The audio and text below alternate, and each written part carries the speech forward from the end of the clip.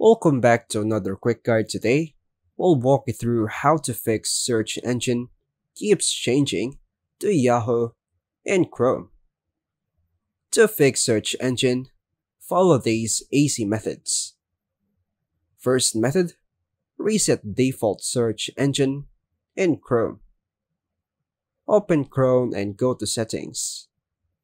Click on the three dot menu in the top right corner and select settings. Navigate to search engine settings. On the left panel, click search engine.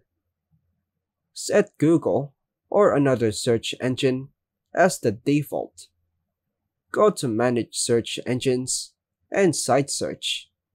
Under select Google, Bing, or another preferred engine. Once you choose, click on the three dots, then click on Set as default. Remove Yahoo from search engine. Click Manage Search Engines again. Find Yahoo. Click the three dots next to it and select Delete. Then confirm the action.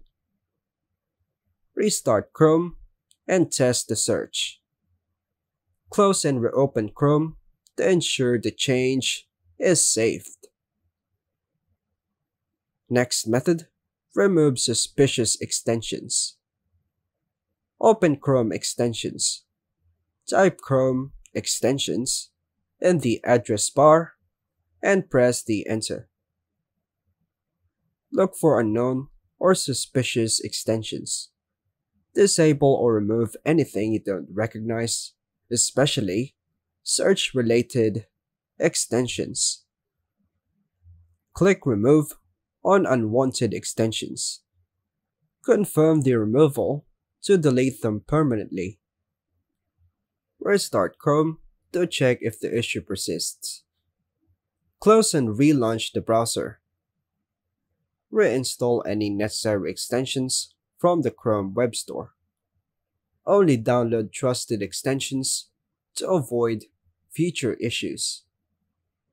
Last method, reset Chrome settings to default.